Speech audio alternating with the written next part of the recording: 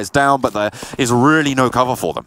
I mean, I said BTR with the Demons in the lobby. Apparently, there are also the angles of the lobby as Zuxxy hits an insane 180 onto ICY from behind, but he's taking shots from A1 again. This is pretty difficult stuff from them. They're right on the edge of the circle itself. They need to get rid of more teams before they can make it in. This is a hard run for BTR, but to make it so far, bloody good stuff. We've spoken about A1 Blank and how they've had such a good day today in the final circles on the final game as well. They've got two kills, make that three, looking for one more as well. Microboy takes a tumble, four kills for A1 as Bigetron feeling the pain right now. Ryzen last standing for the squad. We know what this guy can do. Oh, this is sneaky. Look at him go. He pops out of the vehicle. They have Is no idea. Ryzen? Sinister looks for one, gets on the swivel. Can he make it happen yet again? I would not believe it, but goes around the edge of the smoke, swaps to the DP, looks for another, and will find it, but no more will he be able to do. Ryzen is denied another clutch, not quite able to pop the shots, but RRQ are looking to sweep it up.